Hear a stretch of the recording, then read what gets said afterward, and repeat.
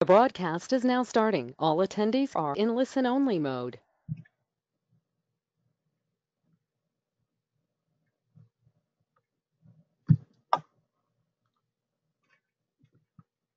Hi, everyone. Thank you for joining the Debbie's Dream Foundation Curing Stomach Cancer Training webinar for our 2019 Capitol Hill Advocacy Day. I am Brittany Starks, Communications Coordinator for DDF, and I will be moderating today's webinar. In a moment, I will introduce you to DDF's Executive Director, Andrea Eidelman, to welcome you. Then we will be joined by Camille Bonta, our advocacy consultant, who will conduct the advocacy training. You will be able to ask questions throughout this presentation. You can type your question into the white text box that appears on your screen. At the conclusion of the presentation, Camille Bonta will address questions as time allows. If we are unable to answer all questions during the time allotted, we will respond in an email to all advocates. In addition, the recording of this webinar will be accessible to all advocates on the Advocate Resource Center on our website. I would now like to introduce the Executive Director of Debbie's Dream Foundation, Curing Stomach Cancer, Andrea Eidelman. Hello, my name is Andrea Eidelman, and I am the Executive Director for DDF. Welcome to the Advocacy Day training webinar. I look forward to meeting each and every one of you in Washington, D.C. at the end of the month. Debbie's Dream Foundation is dedicated to raising awareness about stomach cancer, advancing research for funding and providing education and support internationally to patients, families, and caregivers. Our ultimate goal is to make the cure for stomach cancer a reality. You can learn more about visiting our website at www.debbiesdream.org. In a few short years, DDF has achieved many great milestones. We have 29 chapters across the United States as well as chapters in Canada and Germany, and events are ongoing around the country. Our patient resource education program helps patients, their families, and caregivers around the world by matching them with survivors and caregivers using disease specific criteria, including stage, biomarker, and location. We host educational webinars and symposia year round and our website contains in-depth information about stomach cancer that can be translated into more than 60 languages. We also have provided $950,000 in research grants and will award an additional $50,000 to researchers in 2019 to bring us to our $1 million goal in providing research grants. We advocated during our stomach cancer Capitol Hill Advocacy Day to add stomach cancer to the Department of Defense's peer-reviewed cancer research program. Each year, we return to Washington, D.C. to maintain funding for researchers. These efforts have resulted in nearly 18 million being awarded to stomach cancer researchers over three fiscal years. Over the years, hundreds of DDF stomach cancer advocates have traveled to Capitol Hill to ask Congress to invest more federal resources in stomach cancer research. Specifically, Congress was asked to include stomach cancer among those cancers eligible for research funding under the Department of Defense's peer reviewed cancer research program. And we won. Since fiscal year 2015, Millions of dollars have been awarded to stomach cancer researchers, and none of this would have happened without DDF advocates on Capitol Hill meeting with their members of Congress each year. There is still so much to be done, so we cannot become complacent, which is why your participation in our 2019 Advocacy Day is so important. Your participation can help change the course of stomach cancer research in this country. Now I will review the itinerary for Monday, February 25th and February 26th. Advocates will arrive to Washington, D.C. on Monday morning. We will be hosting a welcome lunch beginning at 12 p.m. After everyone arrives and we get through introductions, everyone will spend the afternoon in educational breakout sessions including a patient support activity led by Nicole Berngard, DDF's events manager, and a caregiver discussion led by North Carolina chapter leader and DDF board member Christy Leonard. There will be a break in between each session. After the breakout session, Camille and her team will conduct an advocacy training session where you will receive tips and training to prepare for meetings on the Hill. At the end of the day, advocates will have a break to get ready for dinner. Dinner will start at 6:30 p.m. where we will take a group photo and also present an award to our volunteer of the year. Tuesday is the day we will visit the Hill.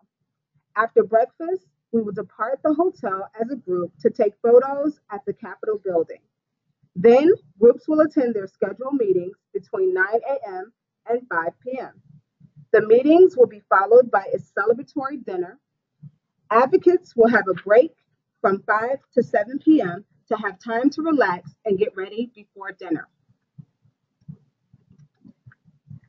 We will have a photographer and videographer at all times during the event. Therefore, upon arriving at Capitol Skyline Hotel on Monday, February 25th, all participants will need to sign a media release form. If you haven't done so already, now is the time to make your hotel reservations. It is a very busy time in DC and rooms are booking fast. We still have a few rooms left in our block at Capitol Skyline Hotel, so please contact them now to get yours. Capitol Skyline Hotel is the most convenient option as we will have all meals and meetings there.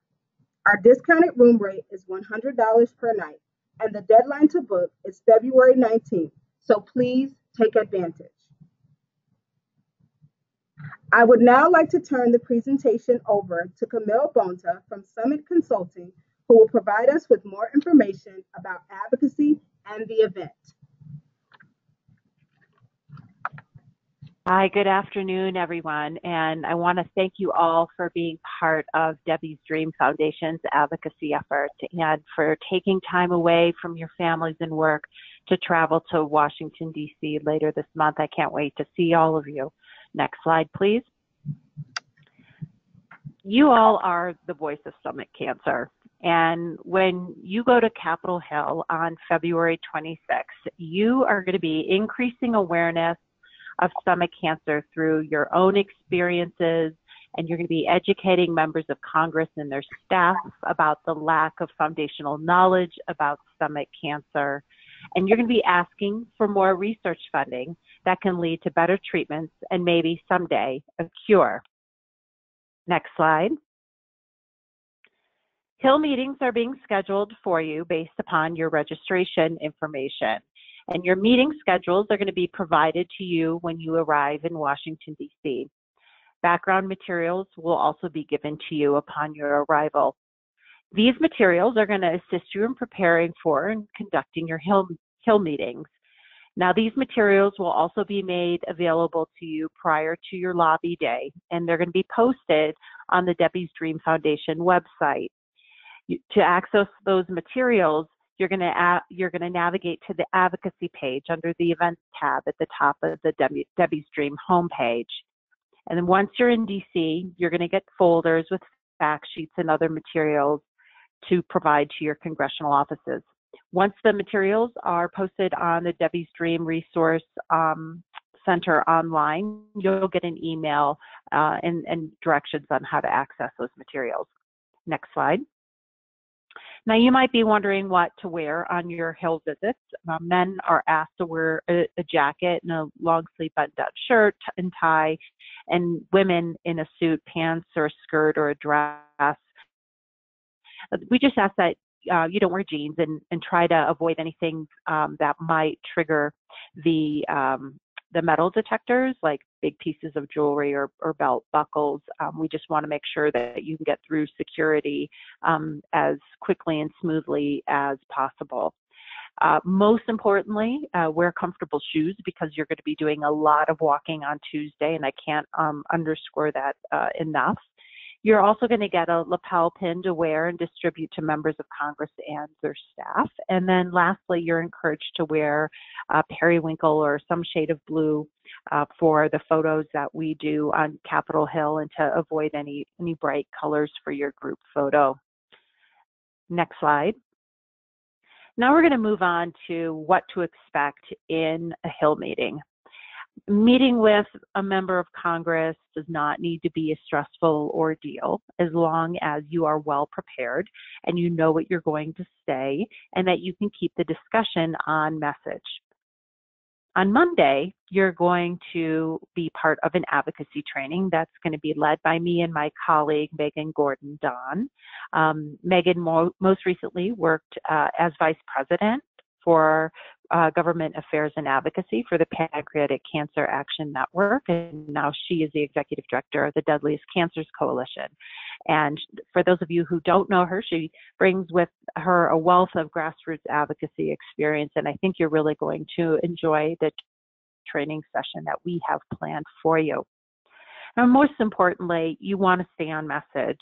Uh, while members of Congress and their staff are genuinely concerned about their constituents' views, uh, just keep in mind that they also don't like to commit to requests on the spot, so it's going to be important for you to stay on message and press your request politely yet firmly. Now, when you sit down for your meeting with a member of Congress or a congressional staffer, you're going to start by introducing yourself. You're going to need to make sure that you say where you live and that you're visiting on behalf of Debbie's Dream Foundation.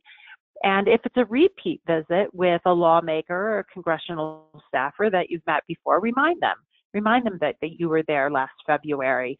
Um, and, uh, um, and after those introductions, then you're going to tell your story. You're going to explain what led you to becoming an advocate for stomach cancer research. Next slide.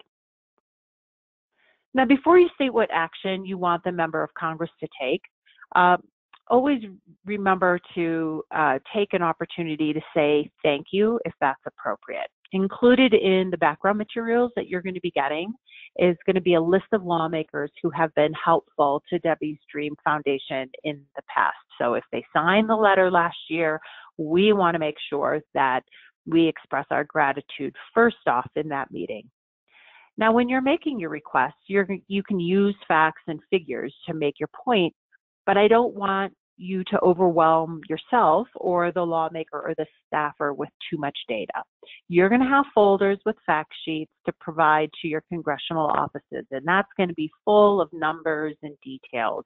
While you're face to face with the lawmaker or the staffer, the most important thing you can do is to use your experience as the tool of persuasion. Next slide. Now, before you end your meeting, uh, you're going to want to close the deal. You're going to ask a member of Congress or the staffer if they'll support your request. And if they can't give you an on the spot answer, you're going to let them know that you're going to be following up. And lastly, remember to say thank you. Make sure they have your contact information and offer to be a resource to them. And say thank you to them, even if they say they can't sign your letter or they can't do specifically what you've asked them to do because there may be another way to secure their support. Next slide. So for this Advocacy Day, our primary request is going to be to ask members of Congress to support maintaining the inclusion of stomach cancer in the Department of Defense's peer-reviewed cancer research program. And you're going to do this by asking the member of Congress to sign a letter to the Appropriations Defense Subcommittee with this request. Now, this letter is going to be led again by our longtime champion, uh, Representative Frankel. And then this year, she's going to be joined by Representative Adam Kinzinger. Um, he's a Republican from Illinois, and they will be the champions for our House letter.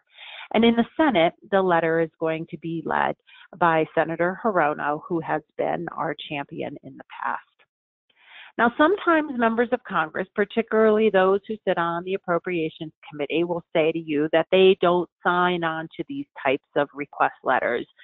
When this happens, you can respond by politely asking the lawmaker to directly submit to the Defense Appropriations Subcommittee a request that stomach cancer be kept in the peer reviewed cancer research program. Every single lawmaker has an opportunity to make individual appropriations related requests to the various subcommittees. And in fact, these individual requests can carry significant weight, especially when a member of the Appropriations Committee makes the request. When you get your Hill schedule, those schedules are going to indicate whether or not a, a member of uh, Congress that you're meeting with or their staff, whether that member sits on the Appropriations Committee. So you're going to know going into that meeting if this is a member of Congress um, who is particularly important because he or she sits on the Appropriations Committee. Next slide. Now, you may find that you have to give lawmakers and staff a brief overview of the peer reviewed cancer research program. And it's going to be particularly important this year because we have a lot of new members of Congress up on the Hill. And every time you have an election, there's a lot of juggling around of Hill staff. So you may have to do a little bit of education this year. Um, what, you, what you can tell uh, lawmakers and staff is that this program is run through the Department of Defense's um, peer, um, I'm sorry, it's, run through the Department of Defense and it's under the umbrella of the congressionally directed medical research programs. Now, the peer reviewed cancer research program was first funded by Congress in 2019, and it supports research into specific areas as designated by Congress with relevance to military service members. And this program tends to support high risk, high reward research and complements NIH research.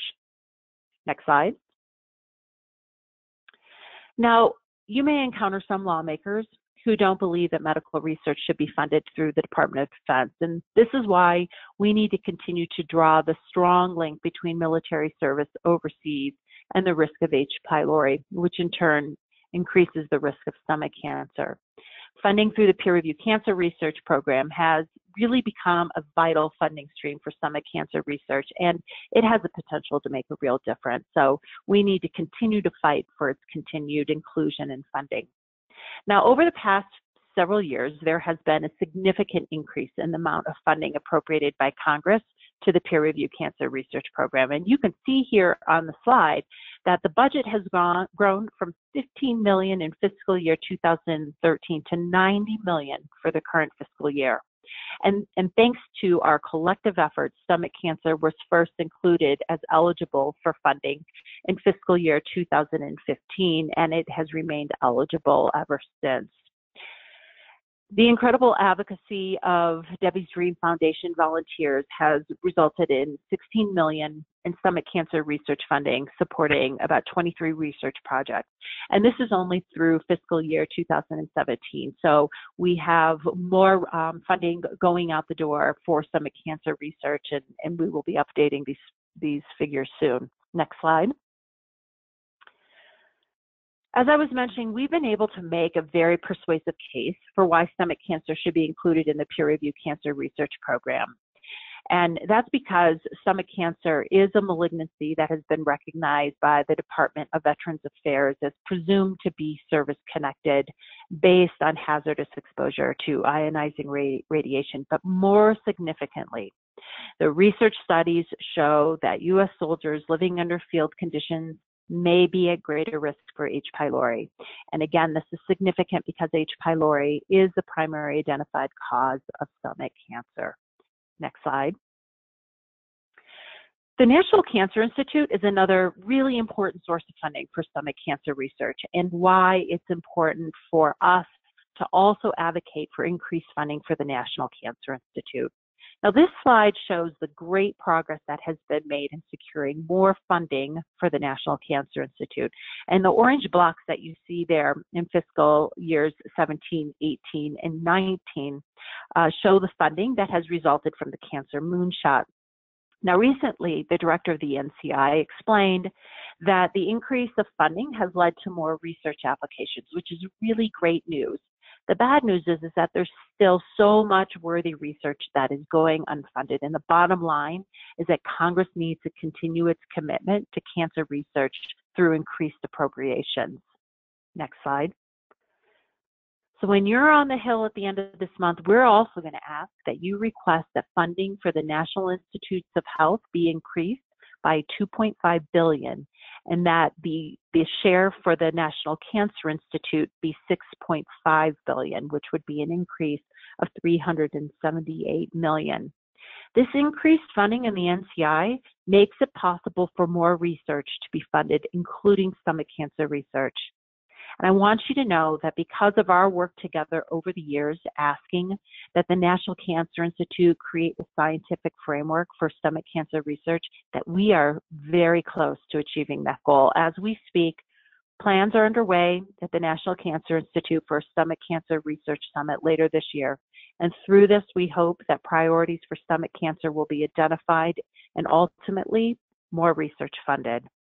Included in your Hill packets will also be suggested report language, encouraging more, re encouraging more research progress on the recalcitrant cancers, those like stomach cancer that have a five-year survival rate of less than 50%.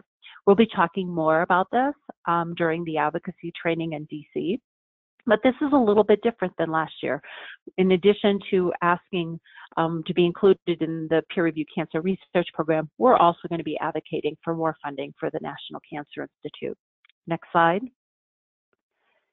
Now, while you can read through the fact sheets and, and other information that will be provided on the Advocate Resource Center, I just want to take a few moments to cover a few key statistics.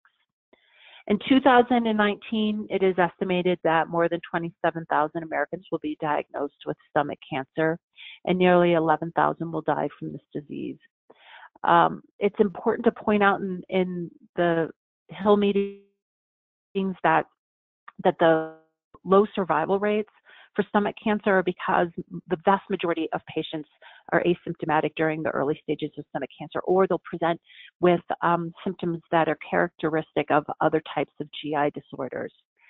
Um, and we just don't have really good diagnostic tools at our disposal, or um, nor is is widespread um, screening um, um, necessarily co- a cost-effective approach. We want to point out that at stage four, the five year survival rate is uh, just 5%, and that the overall five year survival rate is 31%. It's also important beyond these statistics to emphasize that the incidence rates of stomach cancer um, in those, particularly whites aged 25 to 39, have increased to 66%. And, and this data is significant because the expected frequency of stomach cancer all overall has declined over the past 80 years.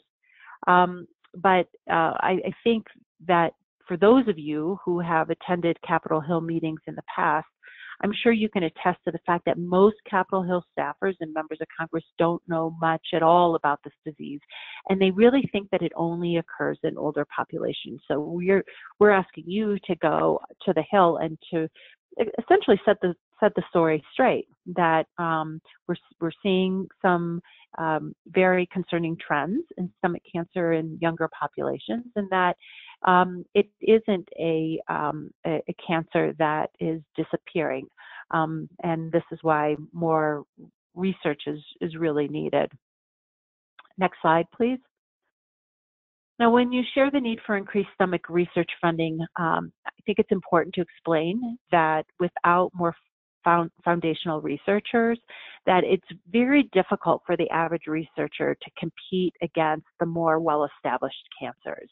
So it's it's it's one of these stories of research funding begets more research funding, right? So we really need um, um, solid base of knowledge and and research for our stomach cancer researchers to be able to really compete within the National Cancer Institute arena. And, and this is in particularly in particular why the funding through the peer review cancer research program is so very important because it allows that higher risk groundbreaking research to be funded.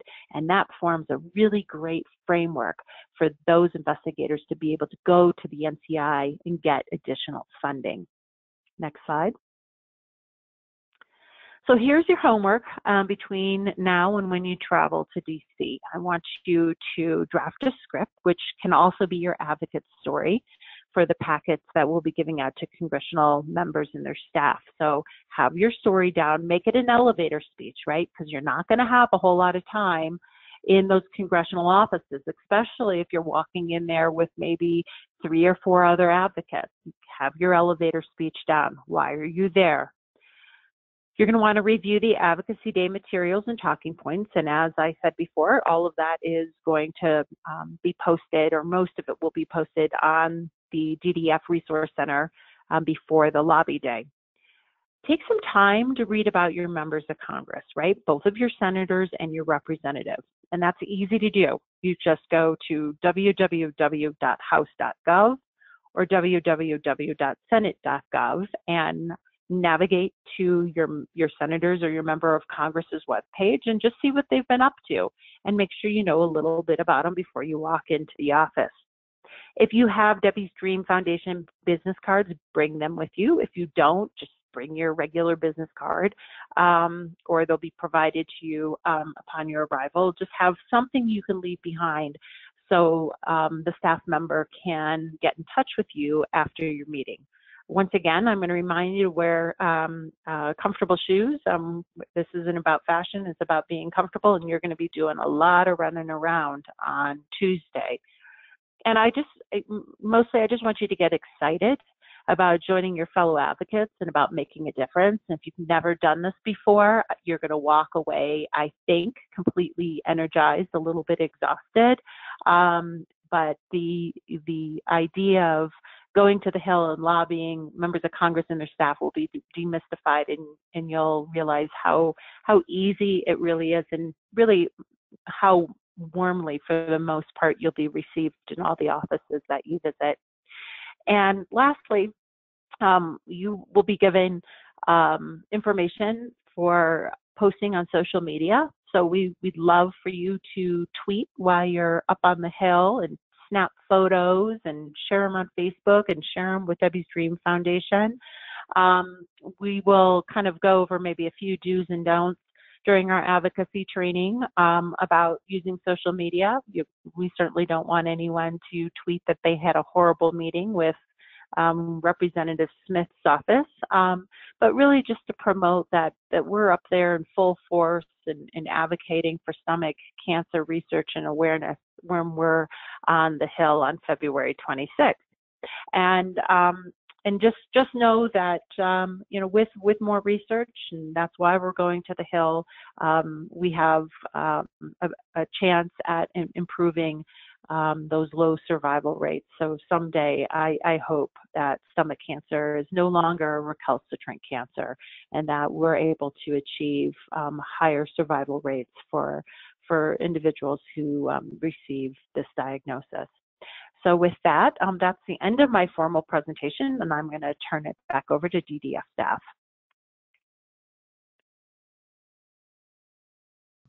Thank you, Camille, for that informative presentation. I will now begin reading questions from the participants that were submitted during the presentation. Um, our first question, how do I follow up after my meetings?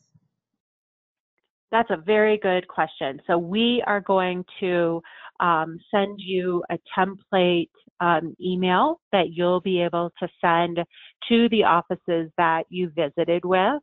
Um, um, make sure that when you have your meeting that you ask for a card. Now you're going to have your schedules and all of the contact information for for the meetings will be on there, but ask for a card and, and follow up within um, a few days after your meeting. And, and we're going to ask you to to restate your request to that office and and most importantly just to say thank you for their time. But we will um, prompt you to do that and we will be sending you the tools and information to do that after you leave washington d.c thank you. The next question can we wear jeans when we arrive on sundays since there are no meetings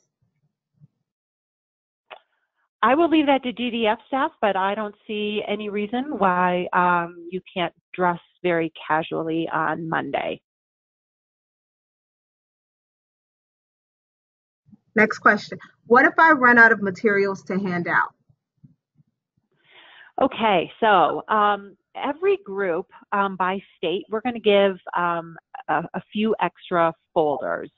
Um, and uh, staff and myself will have a few extra folders and we'll make sure that you have our phone numbers. So if you run into a situation where you have run out of folders, um, you can um, give us a call and we will meet you and we will get you more, more folders. But we're, we're going to do our best to make sure that everyone has more than, than they will possibly need. Do we get our own rooms or do we have to share? Your own what? Our own rooms or do we have to share? Oh, so I will let you answer that um, for the hotel rooms. Yes. So um, if you requested your own room and you were approved for scholarship, you would get your own room. However, if you are interested in sharing, we would be glad to accommodate you and you could contact events at debbiesdream.org. Next question. When do I need to turn in my bio slash story? So yesterday. um, I would love to get those stories so we can um, get those packets finalized and printed up. It, you know, we, we want to give uh, DDF staff enough time to get those packets copied and put in the folders and shipped to DC. So if you could get me that in the next day or two, that would be really fantastic. Okay, um, let's see. The next question. I'm a new advocate. I'm a new advocate. Will I be paired up with someone else? So most um, of our advocates will um, be with others from their state.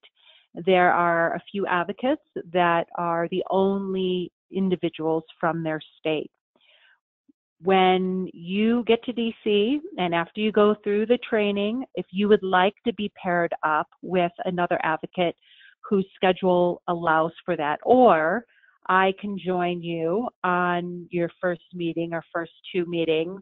We'll we'll make sure that if you're not comfortable going by yourself, that you have someone to go with at least to your first meeting, um, and allow you to get your sea legs under you um, for for the rest of the day. So um, I don't want anybody to worry about that. I don't want anyone to worry about not being clear on where they need to go or um, being nervous about their first meeting. Um, I'll be there and we'll work it out. So um, I I would just um, say that it is it is far less intimidating than um, what what you think it might be, and we'll we'll make sure that you have the necessary support. Can we advocate for another state besides our own? So you can. Um, we are scheduling meetings um, based upon um, two things: um, what you included on your registration information, and the, meaning your your home address, and um, any other offices that you may have requested. Um, it is harder for us to get meetings with members of Congress who don't have someone, at least someone there from that state. And so we, um, you know, we, unless there is um, a member of Congress that's not from your state that you have a really good relationship with, um, we won't be scheduling um, meetings um, um, outside of your your congressional delegation. So again, if a specific request has been made and we're able to make some connection, then we'll we'll go ahead and make that out of state uh, request. I'll just add that we are currently in the process of scheduling probably over 150 meetings um, not only will you be meeting with your two senators and your representative, but we are adding new members of Congress from your state. We're adding members of Congress who sit on the Appropriations Committee from your state. Um, everyone is going to have probably at least four to five meetings there will be delegations that have a lot more meetings than that. So um, if you don't worry about not having a full day, and we're probably at the point now, I looked at the, the itinerary the other day, we're probably at the point where we can't add many more meetings just simply because we're not going to be able to fit them into your day. Can I bring my own materials into the congressional meeting, like a poster board or photos? Photos are awesome, right? So if you want to share a photo um, of, um, of of a of a loved one, um, I or or your or your kids or you know what you know something to help you know connect the story with a face i i think that's great. Um i don't you know posters um you know just remember whatever you take to the hill you got to carry it around with you all day long How long are meetings scheduled for? so the average meeting i would say lasts about 15 minutes that's what you should go in thinking, all right? That this meeting is going to be about 15 minutes long and I've got to get my message and my request across to this staffer or to the member of Congress in 15 minutes. Now, some meetings could actually be shorter and some could actually be longer. What we are doing on the scheduling end is to make sure that you have time to get from meeting A to meeting B. Um, specifically, we are trying to cluster all of the meetings on one side of the Capitol during one time of the day and meetings on the other side of the Capitol during another part of the day so you're not ping ponging back and forth. Um, that said, it's going to be really important for you to pay attention to the time, right? If you only have a short time from one meeting to the next, you're going to have to make sure that you don't let that meeting drag on too long. You're going to want to get through your points and you're going to want to uh, um, uh, close that meeting um, with enough time to get to your next meeting. The other thing that we do is we put phone numbers on the schedules, and we'll we'll share this again when we all get together in DC. But if you're running behind, just call that office. Let them know you're meeting with Susie Q and that you're running a little late, um, just so they can convey that to the person that you're meeting with. Um, but we are we are doing our best to make sure you have a full day, but that you also have adequate time to get from meeting to meeting. Thank you so much, Camille. I've now read through all the questions submitted during our presentation. If you think of any additional questions after we conclude, or if you are listening to the recorded version, please submit your questions by email to events at debbiesdream.org. Nicole will be your point of contact for Advocacy Day. I would like to thank our participants for joining us today and committing to traveling to Washington, D.C. for this important event. Thank you to our speaker, Camille Bonta, and, her, and to the DDF Executive Director, Andrea Eidelman. We're looking forward to seeing you in Washington, D.C.